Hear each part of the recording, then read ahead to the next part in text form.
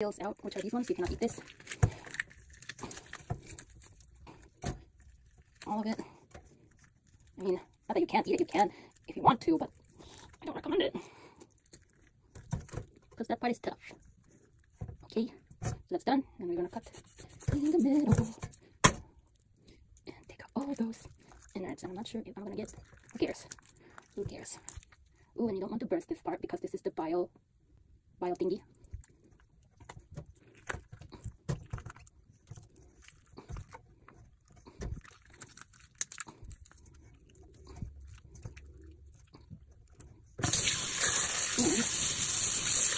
Thing all over.